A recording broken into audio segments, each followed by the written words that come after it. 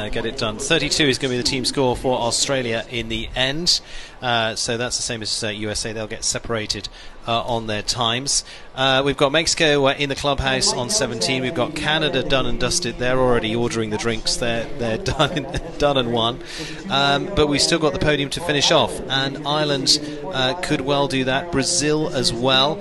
Ireland on a potential score of 16, so they would just stay ahead of Mexico and uh, their last rider out is uh, Cian O'Connor. Jumped round for just the uh, four faults earlier on, a man who's known for delivering for their team under the big pressure moments. And uh, Cian were 136 Nations Cups. Uh, we worked out a little bit earlier on this week. Uh, winning team here last year as well, winning team in Dublin, and uh, now with uh, Berlux Z. But as we were talking about for the Coolmore show jumping team, a little bit of change around in horses, but as ever, Cian was pretty cool, McLain. Yeah, absolutely. I mean, there's there's no more seasoned team rider than Cian O'Connor. Uh, we know Ireland as a nation uh, is so proud of their team competitions, and it's such a it's such a, a source of pride for these riders.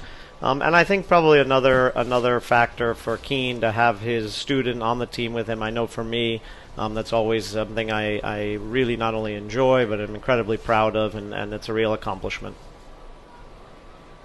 Yeah, he's just uh, such an amazing rider. But to watch him coach those boys and what he's done, not, and, and rider, trainer, developing horses, Mm. all of it. You know, he's he's a genius. And to see him though with these young boys, it, it's amazing and fabulous.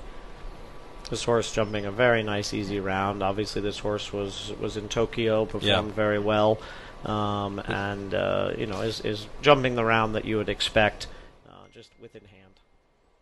No problem. The lights. The second round, Cian's got all that. You know, no experience and everything. Uh,